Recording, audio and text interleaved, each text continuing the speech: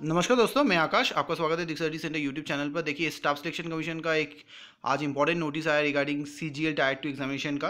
तो इसमें बताया गया जो 21 तारीख को एग्ज़ाम जो हुआ था, उसमें क्या हो रहा था? डाउनलोडिंग जो डेटा है, उसमें कुछ टेक्निकल रीजन में प्रॉब्लम आ रहे थे, ठीक है? तो बच्चा का जो है एग्ज़ाम बहुत लेट से शुरू हुआ।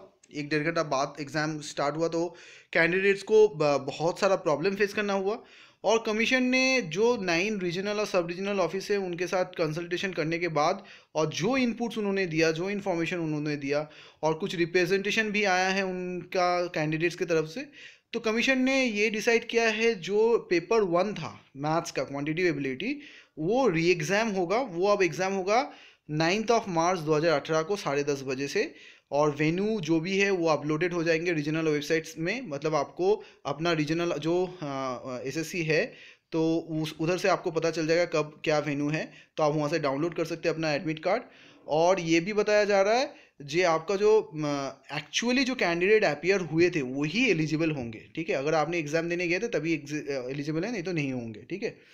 तो आपको बताया जा रहा है आप और एक चीज़ है, जो एक पटना में जो वेन्यू था, उसमें दैट इज़ साइबर सिटी उसमें री एग्जामिनेशन होगा paper one as well as paper two एक ही दिन में होगा। तो आज ही का नोटिस है चौबीस तारीख को तो ज़रूर देख लीजिए। इंपॉर्टेंट है तो मतलब आपको फिर से प्रिपरेशन करना है मैथ्स का। तो बहुत सारा है, मेरा भी एक स्टूडेंट है जिसको एग्ज़ाम हुआ था तो फिर उसको करना है मार्च नाइन्थ मार्च को आपको एग्ज़ाम होगा। तो चलिए अच्छा से प्रिपरेशन कीजिए, कुछ भला हो, कुछ ख़राब हो, क्योंकि ये भी आ रहा था बहुत।